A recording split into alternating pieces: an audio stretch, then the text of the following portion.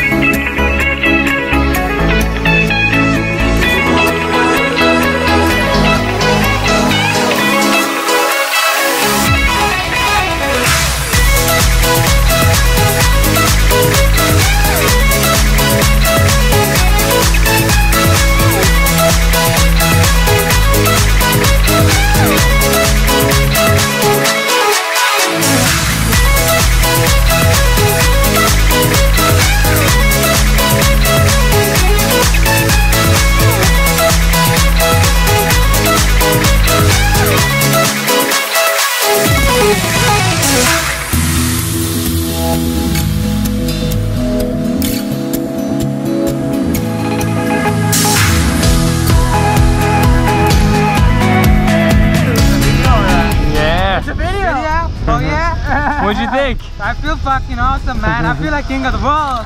You, you are. King of the world, man. Well, we were king above the world today, too, right? Wow. Rock on, man. So, so you had fun, I'm thinking. Oh, yeah. Do it again?